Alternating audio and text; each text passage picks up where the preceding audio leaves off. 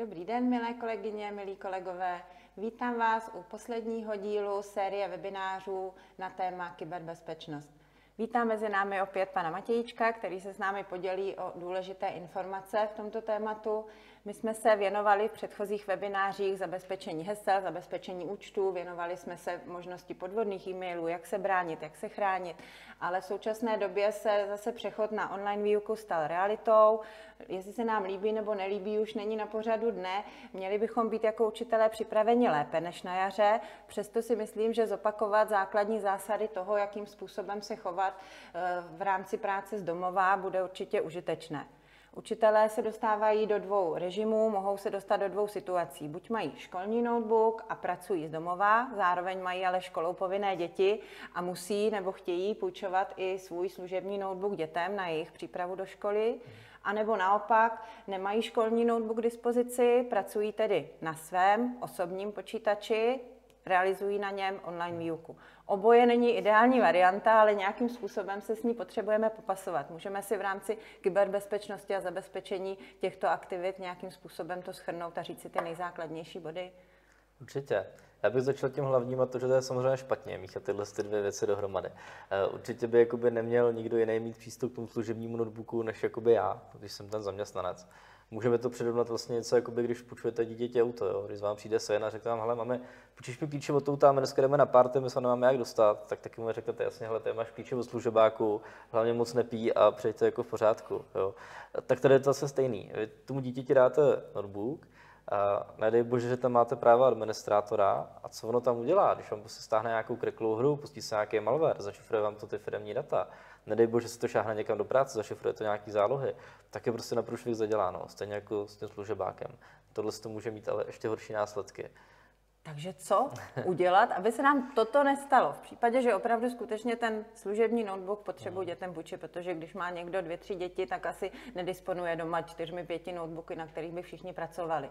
Určitě najdeme nějakou cestu, jakým způsobem to ošetřit, aspoň v tom základním rozměru. Určitě. Když je potřeba to dělat eh, tímhle způsobem, tak těm dětem co nejvíc omezit práva. Možná to zní teda drasticky, ale je to vlastně jediná cesta.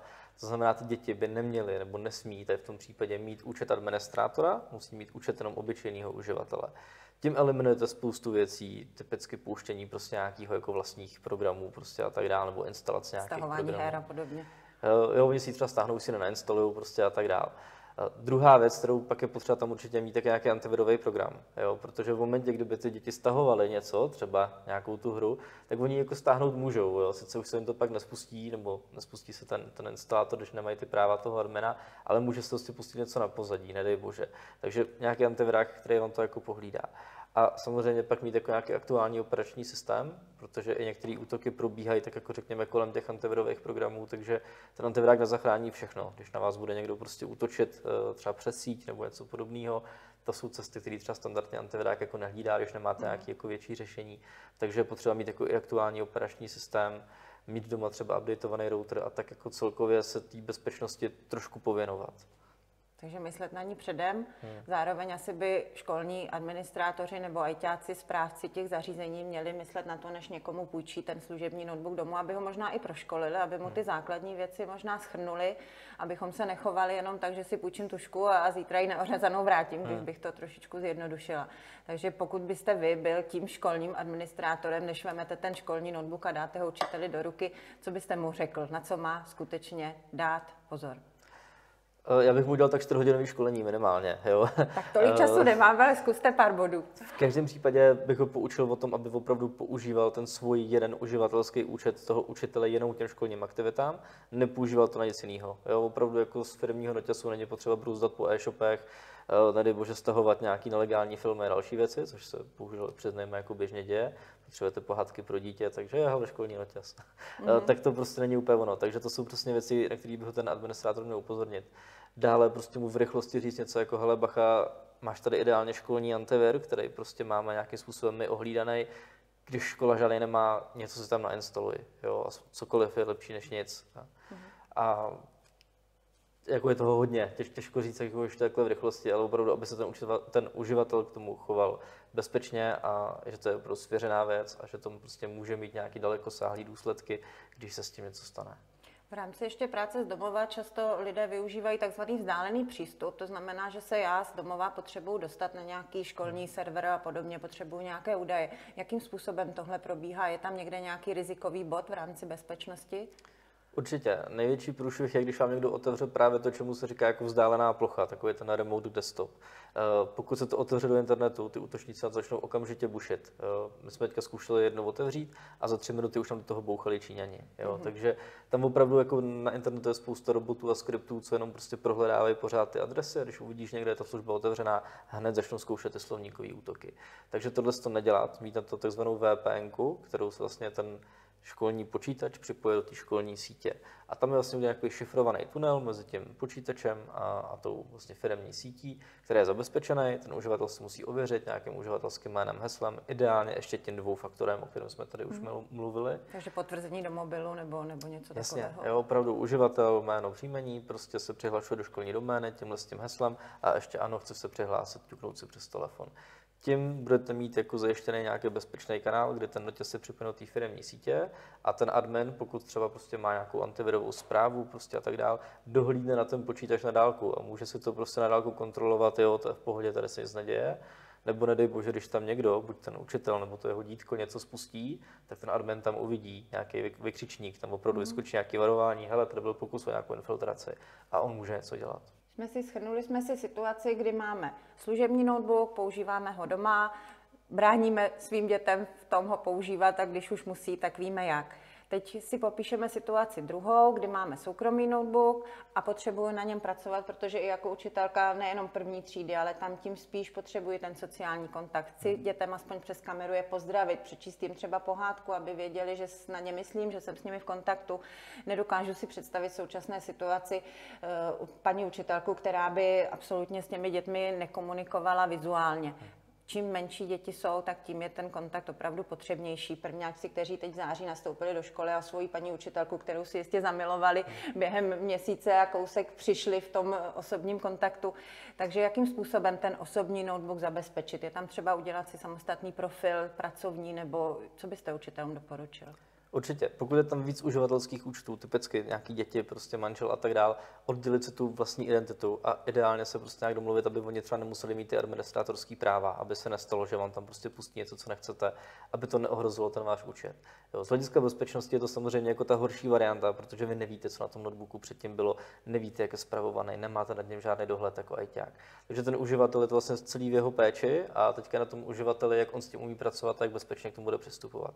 Proto je potřeba se jako na to myslet a zase ideálně, než se přihlásíte k nějakým školním účtům, předtím, než začnete ideálně fakt vytvořit se nějaký účet, klidně mu dát jenom uživatelský práva, s tím svým adminem se tam nainstalovat ty základní školní aplikace. Ještě teda předtím na začátku, jsem opomněl udělat si nějaký sken nějakým antivirákem, bych věděl, fajn, ten počítač není asi zavirovaný, je to, je to asi v pořádku, můžu to začít používat jako nějaký zařízení k přihlašování k dalším systémům. A jo, pak když tam jako nainstalujete prostě nějaký tým si, připojíte se do toho, tak by to mělo být jakoby v pořádku. Ideálně z toho ale furt moc jako nepřistupovat do nějakých interních školních systémů. On vám tam na to VPN se jak úplně jako nedá, takže vám se nic jako jiného moc nezbyde a zůstanete přes takový ten webový kontakt. Hmm, což je určitě důležité, aspoň nějakou je. možnost mít, zůstat v kontaktu. Když bychom se podívali ještě na to eh, pravidelné aktualizování systému a podobně, to je určitě taky jedna z věcí, kterou běžně dělají třeba školní administrátoři, ale v momentě, kdy mám ten školní notebook doma, tak mám jako uživatel myslet na to, že i tahle pravidelnost vlastně spadá na mě, tahle ta povinnost postarat se o aktualizaci těch programů a podobně. Hmm. Rozhodně. Eh, vlastně pokud jako má třeba doma nějaký noťas, na kterém má třeba Windows XP, prostě nemá tam antivirák, to prostě není dobrý. Jo? To už je systém, který je tak děravý, že na to se dá zautočit vlastně instantně. A jakýkoliv žák třeba 8. 9. třídy, když si pustí nějaký Kali Linux prostě, nebo nějaký jako jiný prostě hackerský nástroj, tak je schopný to vlastně instantně hacknout podle jednoho návodu na YouTube. Jo? To je potřeba tohle myslet, že ty děti jsou dneska jako mnohem dál tady v tom a opravdu pokud budete používat něco, co na první pohled oni vidí, protože jim nazdílíte plochu a vidí, že máte XP, tak rovnou ví, řeknou, hele, to, to je jasný. Jo? To prostě jako 5-6 příkazů, a je to, dobrá zábava, jo. pro nás velké starosti. Hmm, hmm. Jako jo, asi by to nebylo úplně jednoduché, jak říkám, ale jako dá se to prostě opravdu, jde to, je to možný prostě. Takže opravdu starat se o to, o ten počítač a myslet na to prostě. aktualizovat operační systém, aktualizovat antivirový programy, aktualizovat i ty jiné programy. Je potřeba držet to všechno na těch posledních verzích. Tam nejde o to, aby ty uživatelé měli jako hezčí ikonky, tam jde o, to, o ty bezpečnostní chyby, které to opravuje. Jo. Takže na to je potřeba myslet. Takže ta funkcionalita u těchto těch věcí není nekonečná, je potřeba neustále se o to starat, tak jako se staráme o to auto, o kterém jste mluvil předtím. Hmm. Když ještě se vrátím k tomu, jakým způsobem bych já jako rodič, když mám tedy školou povinné děti a oni teď v rámci online výuky nějakým způsobem musí v online prostředí fungovat, mohu i u mladších dětí třeba, když mám také home office a, a potřebuju sama pracovat na počítači, děti mají svůj počítač a věřím tomu, že tam pilně studují, ale přesto bych chtěla jako rodič mít nějaký dohled nad tím, co na počítači a v rámci kyberprostoru tropí. Je nějaký, nějaká možnost, nějaký nástroj, nástroj rodičovské kontroly nebo dozoru? Přesně tak, říká se tomu právě přesně rodičovská kontrola. Eh, těch nástrojů je mnoho, stačí si vybrat. Málo kdo třeba ví, že jako vestavený nástroj už je ve Windowsech, takže pokud máte nějaký Windowsy desítky, tak tam už vlastně rodičovská kontrola je, je tam bezplatná. Stačí, když mají ty děti vlastně udělat takový ty Microsoftí účty, když se přihlašují nejenom jménem, ale dají tam takový to jméno ze zavináčem a doménou, tak vlastně jste schopni je prostě jakoby spravovat a můžete jim nastavit třeba, jak dlouho na tom počítači můžou pracovat, kolik hodin, v jakou dobu, kdy už ne, kdy už je to moc. Když vám řeknou, hele, a nemohl bych ještě třeba hodinku si teďka zahrát, tak a jo, dneska ti to šlo, tak mu tam ještě hodinku přiklepnete, můžete schvalovat nákupy, co můžou instalovat a co ne. Mm-hmm. A samozřejmě pak máte přelety na tím, na jaký chodí webové stránky, s tím, že teda nemusíte nutně hlídat, kam všude chodí, ale můžete jim některý zablokovat. A to si pak můžeme ukázat v ukázce. A to je vlastně dobrá věc, kdy vlastně všechny takové ty nevhodné stránky, různý jako pornoveby, různý anonymizéry, nějaké darknet a takovéhle věci, jim prostě zakážete. A oni se na to prostě nedostanou. Uvidíte tam nějakou zastavovací obrazovku, tam bude napsat nějaký pěkný text a konec. Mm-hmm. Takže v téhle fázi jako učitel, rodič, ale zároveň i jako učitel směrem k rodičům mohu využít tuto informaci a ne, jak říkáte, ne všichni rodiče vědí o téhle možnosti. Určitě to není žádné základní zasahování do dětských práv, když se jim s nimi to správně probere, řekne se jim, proč takový nástroj využíváme, k čemu slouží a jakým způsobem eh, se mají chovat. Je to zase lekce kyberbezpečnosti a, a zdravého vlastně pohybování se v rámci online prostředí a podobně. Takže určitě ta ukázka bude, bude pro nás důležitá. Nejprve ze všeho je potřeba vytvořit dítěti Microsoft účet. Microsoft účet eh, vytvoříte zdarma, nic vás to nestojí, eh, nebudeme se tím v tuhle chvíli zabývat, protože vytvoření účtu je jednoduché. Stačí, když přijdete do nastavení, do sekce účty a v sekci účty už budete mít nápovědu, jak vytvořit účet Microsoft. Když se na ní kliknete, otevře se vám průvodce, kterým se stačí proklikat, je tam detailně popsané, co je potřeba udělat. Eh, je potřeba mít ty účty od Microsoftu dva, jeden rodičovský a druhý dětský. Takže ideálně vytvoříte účet pro sebe, pokud je ještě nemáte, potom vytvoříte účet pro dítě. Tyhle ty účty se vám budou do budoucna určitě hodit, protože v momentě, kdy budete používat Office 365 nebo jakékoliv jiné služby do Microsoftu Skype a prostě podobně, eh, můžete se přihlašovat vaším účtem, máte tam nějaké výhody. Hlavně je to ale potřeba pro nastavení té rodičovské kontroly, aby se oddělilo, co ten rodičovský účet může nastavit tomu dětskému a oddělili se nějakým způsobem ty práva toho dítěte, které tam neví nastavené. Ten dětský účet se liší a nemůže toho samozřejmě dělat tolik, co ten účet rodičovský. Řekněme si tedy, že máme vytvořený účet dítěte. V tuhle chvíli přejdeme zpátky na počítač rodiče. Na rodičovském počítači se stačí otevřít prohlížeč a v prohlížeči se podíváme na stránku Office 365, základní přihlašovací stránka pro váš účet, kde je potom možnost zabezpečení rodiny, to takové zelené srdíčko. Když se na to klikneme, otevře se nám tam komplet naše vytvořená rodina, všichni členové, všechny účty, které jsme vytvořili pro členy naší rodiny, které chceme zpravovat. A vy jako správce, těch správců může být samozřejmě víc, oba dva rodiče mohou být správci, mohou nastavovat těm dětem různé věci. Cílem je samozřejmě nastavit těm dětem nějaké limity. Eh, ještě než budeme pokračovat dál, je dobré si o tom s tím dítětem předem promluvit. Je potřeba říct si, ale já bych chtěl nastavit nějaké limity, aby se na některé stránky mohl a na některé, aby se nemohl. Jsou věci, na které si ještě prostě malej, jsou věci, které by se neměl vidět, na internetu nejsou jenom pěkné věci, jsou tam věci jako hodně ošklivý, my nechceme, aby si to viděl, řeknete mu, proč nechcete, aby to viděl a to dítě to většinou pochopí, takže nemusíte se bát toho si o tom s tím dítětem promluvit. Naopak je to lepší. V momentě, kdybyste se o tom nepromluvili a postavili jste před hotovou věc a řekli mu, hele, já jsem ti tady nastavil nějakou kontrolu, teďka nemůžeš tohle, tohle, tohle, tak to jakoby nebývá dobře přijímaný. V momentě, kdy provedete nějaký otevřený rozhovor s tím dítětem a řeknete si, že tam nějaké restrikce budou, proč tam budou, to dítě to většinou vezme úplně v pohodě. Co je taky dobrý, tak eh, je takzvaný čas u obrazovky. Je to jedna z věcí, které si tady můžete nastavit a vy si můžete zapnout takzvané limity pro zařízení. Opět je fajn si o tom s ním promluvit. Eh, když se toho dítěte zeptáte, kolik si myslí, že tráví času na jeho zařízení, třeba na telefonu, tak vám obvykle řekne nějakou nižší hodnotu, než je pravda. Jo, dejme tomu, že tráví na tom zařízení třeba 3 hodiny denně a když se zeptáte, hele, jak dlouho jsi na tom telefonu, tak zhruba každý den, tak vám řekne, no tak hodinku, hodinku a půl. Říkám, OK, Uh, měli bychom se nastavit nějaký limit, není dobrý, aby se do toho koukal celý den, chceme, aby se měli nějaký jiný koníčky, ty taky chceš dělat určitě něco jiného, tak si řekni, kolik času bys na tom telefonu chtěl strávit, nebo na tom počítači a nastavíme tady nějaký limit, ono to bude hlídat. A to dítě vám obvykle řekne opravdu nějaký, nějaký rozumný interval. Jo? Ono vám neřekne, já tam chci být 4 hodiny denně. To prostě už samo jemu, jemu samotnému už to zní prostě špatně. Takže on řekne, jo, já si myslím, že tak hodinka, hodinka a půl by byla v pohodě. Tak řeknete, fajn, tak se dohodneme na hodině a půl. A nastavíte mu limit, aby denně mohl používat to zařízení třeba tu hodinu a půl.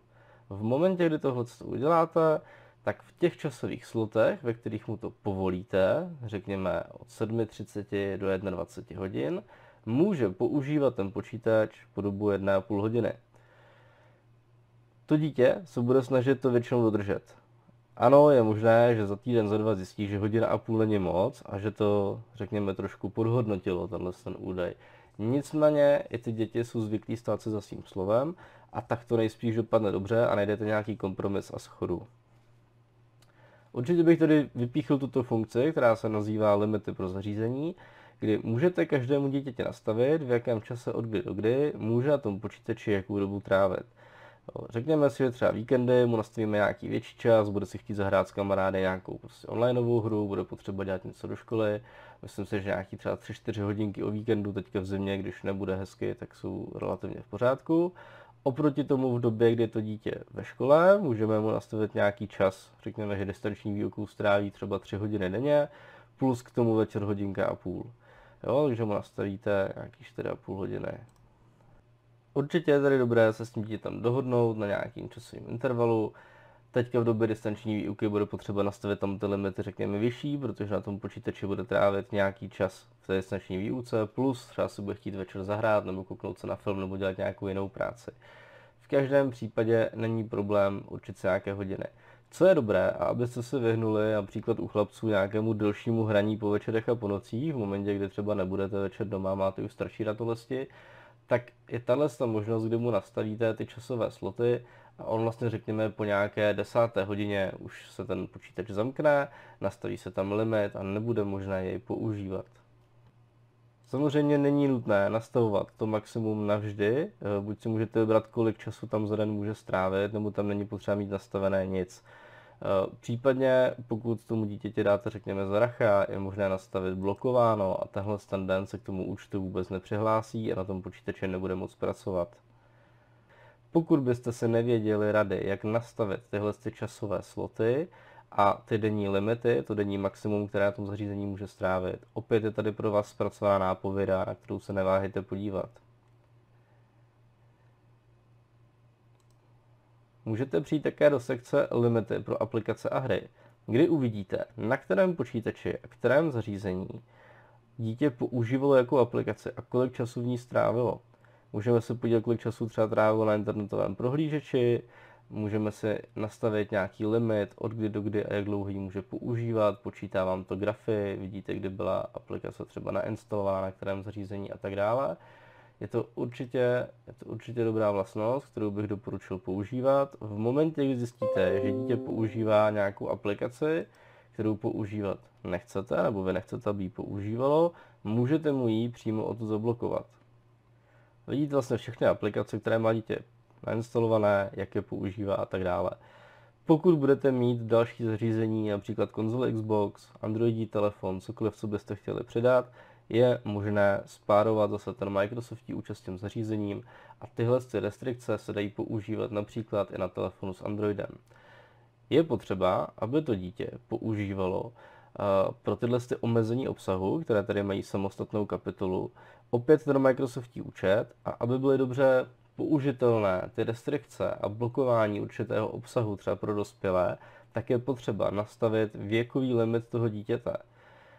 Podle tohohle z toho limitu se mu pak nabízejí i konkrétní aplikace. Je to dobré v momentě, kdy dítěti nastavíte, že mu třeba 6 let a on si třeba sám, samozřejmě po vašem odsouhlasení, bude chtít nainstalovat nějakou hru, tak se mu zobrazí jenom hry vhodné pro děti do 6 let. Jo, je to něco podobného, jako jsou hodnocení PEGI, kde vlastně vidíte, pro jak staré děti je co doporučené a co ne. Aby tohle to správně fungovalo, tak je potřeba, aby to dítě používalo nový prohlížeč Edge. Eh, je to taková ta ikonka, kterou můžete vidět tady dole, takové to zelené, zeleno-modré zakulacené E. Eh, v momentě, kdy tenhle ten prohlížeč dítěte nainstalujete buď do osobního počítače nebo do telefonu, eh, a to dítě se tam přihlásí svým Microsoftím účtem, a vy tady v té vaší rodičovské, řekněme správcovské konzoli, nastavíte možnost blokovat nevhodné weby, tak se tomu dítěti budou, pokud bude chtít přistupovat na nějaký nevhodný web, tyto stránky blokovat. Pokud byste to chtěli nějakým způsobem doladit, není to problém. Můžete si tady přidávat stránky, které chcete mít vždycky povolené. Kdybyste se setkali s tím, že to Microsoft špatně vyhodnocuje a je blokovaná nějaká stránka, kterou blokovat nechcete, tady to uvidíte. Takže pokud bychom chtěli přidat nějakou výjimku, samozřejmě můžeme. Tato stránka se nám přidá do povolených, vždycky bude povolená. Pokud naopak narazíte na stránku, kterou Microsoft neblokuje a chtěli byste ji zablokovat, samozřejmě není problém, můžete ji sem napsat. To může vypadat zvláštně, protože asi vás vždycky nenapadne všechno, co napadne to dítě. A proto je dobré, když se vrátíme úplně na začátek a přejdeme do sekce nedávná aktivita, ve které vidíme, co to dítě na tom účtu dělalo. Tenhle se náhled je tady hlavně pro vás, pro rodiče. Vidíte, jaké to dítě používalo třeba aplikace, jak dlouho, na jakém zařízení a tak podobně, to je, to je docela fajn. Eh, co je ale lepší, tak máte tady statistiky prohlížení internetu. A vy vidíte, na jaké stránky se to dítě pokoušelo přihlásit a kolikrát. Vidíme, že pokusy o návštěvu zablokovaných webů tady byl jeden a byl na stránku Free Video. Vidíme, v kolik hodin tam to dítě chtělo přistupovat Vidíme, že to bylo zablokováno. Kdybyste chtěli, můžete to povolit. Samozřejmě nedoporučuju. Dál ale vidíte, na jaké další stránky to dítě šlo a pokud byste tady našli něco, co se vám nelíbí, třeba stránka roten.com, která byla dříve známá zobrazováním různých fotek z nehod a dalších ošklivých věcí, můžete to zablokovat. Tím pádem, pokud zjistíte, že dítě chodí na nějaké stránky, na které úplně nechcete, aby chodilo, stačí zakliknout blokovat, stránka bude zablokována, přibude potom v seznamu v omezení obsahu, kde už teďka vidíme, že přibyla další blokovaná stránka a tímto způsobem to můžete zpravovat. Pokud bychom chtěli živou ukázku, můžeme přejít na počítač dítěte, kde se vlastně otevřeme internetový prohlížeč a můžeme zkusit jít na nějakou stránku, například již zmiňované free video, na které bychom se dostat neměli. A v momentě, kdy dítě něco podobného zkusí, stránka je zablokována, rovnou mu to napíše, si může zeptat, jestli na ten web může.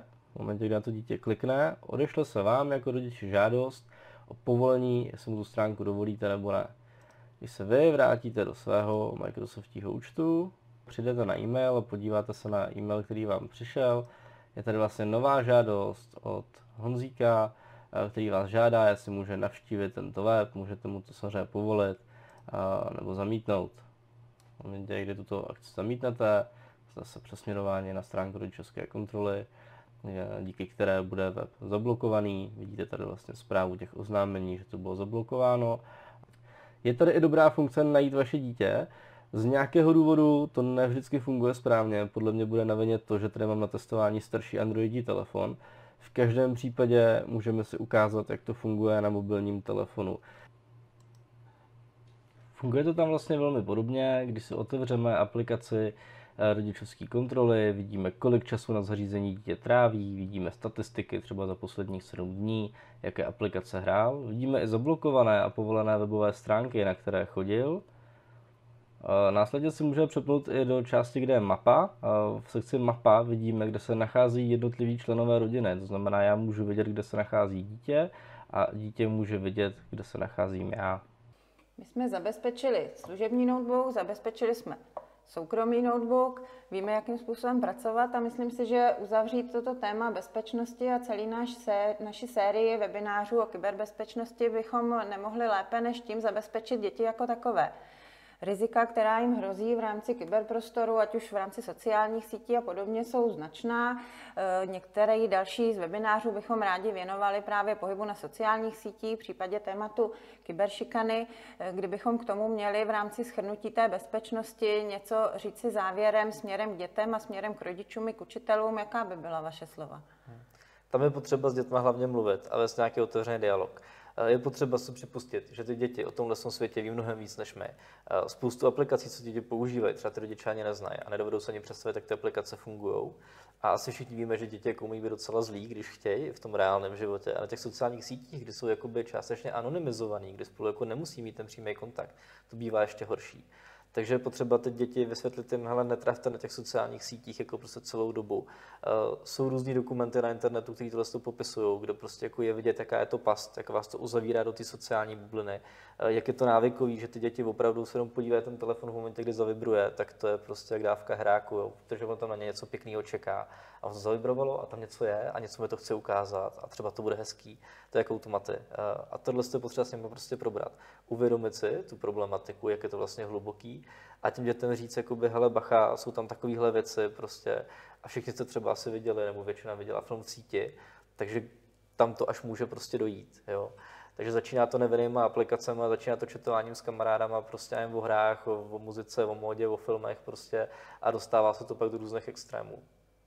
Děkuju. Já si myslím, že slova pana Matějčka, kterému děkuji za návštěvu ve všech třech našich webinářích, budu se těšit zase někdy na viděnou, byla nesmírně důležitá právě v současné době, kdy z donucení okolností spousta dětí bude trávit v kyberprostoru daleko více času, než bychom si přáli.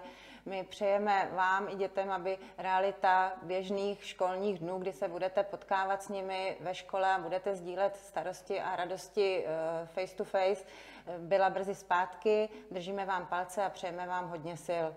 Další webináře pro vás připravujeme a těšíme se při jejich sledování na viděnou. Informace o projektu najdete pod videem. Naschledanou. Naschledanou.